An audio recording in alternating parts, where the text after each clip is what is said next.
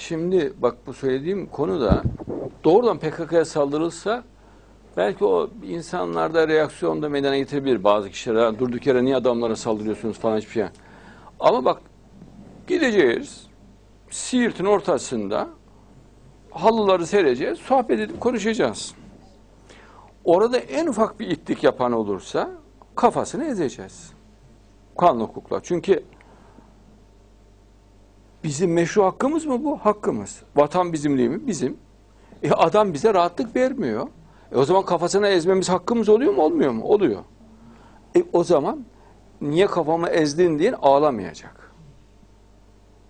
Sürükleyerek alır götürür, hapse atarız.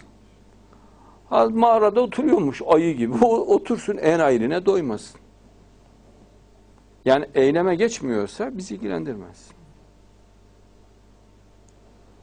Biz kolumuzu elimizi sallayarak böyle aylarca göreceğiz onu, alıştıracağız bunları. Ha, orada PKK paçavrası da istemiyoruz. Bu kanun değilsin. Yani Abdullah Öcalan resmi PKK paçavrası bunu da istemiyoruz. Yani o varsa zaten yapacak bir şey yok. Yani PKK bayrağını astı da sen bunu kabul ettiysen e zaten oraya giremezsin sen. Oraya gitti demektir. Bayrağın anlamı odur. Adam bayrağı astıysa ben burayı aldım diyor.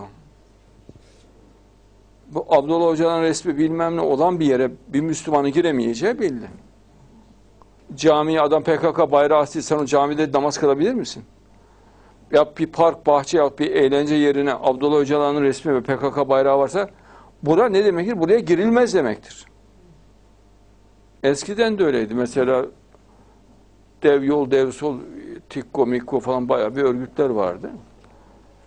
Geliyor mesela pastanenin duvarına tikko yazıyor. E hadi gir girebiliyorsan. Ne demek? Oraya girilmez anlamına geliyor. O yazı gitmedikten sonra oraya girilmez.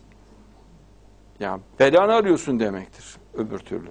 Adam onu yazdığına göre e demek kendine güveniyor. Ve adamın da nereden çıkacağı belli değil. E o zaman yapılacak şey sen o yazıyı silersin. Ulan hangi ayı bunu yazdı buraya dersin.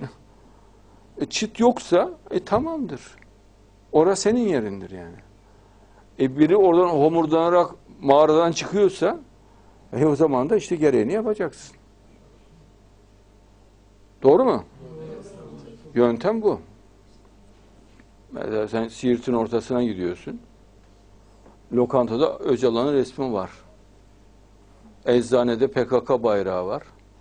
E, sıkı oradan sen ilaç alasın yani. Selamun aleyküm ben Müslümanım diyebilir misin orada sen? Ya ben MHP'liyim diyebilir misin? AK Partiliyim diyebilirsin. C ya kimse CHP'liyim diyemiyor orada.